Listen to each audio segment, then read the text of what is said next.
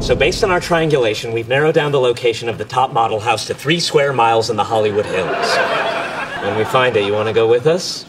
To do what? Party with the pretty girls, dude.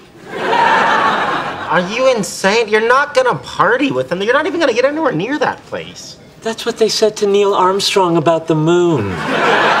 No one said anything of the kind to Neil Armstrong. The entire nation dedicated a decade of effort and treasure to put a man on the moon. Well, my fellow Americans, before this year is out, we will put a Wolowitz on one of America's top models.